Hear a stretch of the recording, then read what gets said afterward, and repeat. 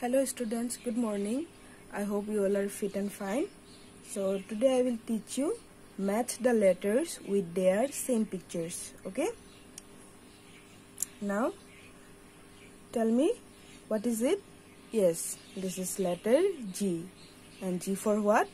G for grapes. Now tell me where is the picture of grass? Can you find it? Where is? Yes, this is the picture of grass. Now match it with the letter G, okay? G. G for grapes.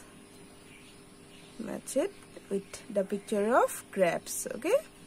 Here it is. Now, this is letter I. I for what? Yes, I for ice cream. Can you find the picture of ice cream?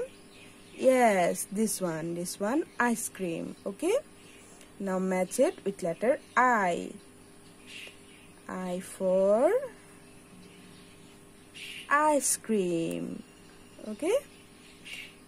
This is letter M. M for what?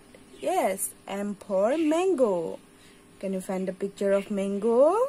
Where it is? Yes, this one mango. Now match it with letter M. Okay? M for mango. This is letter K. K for what? Yes, K for kite. Can you find it? Where is kite? Yes, this is the picture of kite. Now match it. K for kite.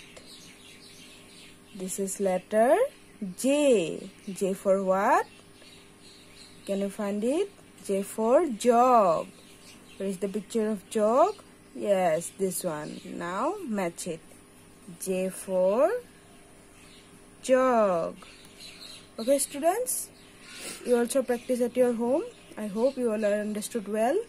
So that's it for today. Thank you.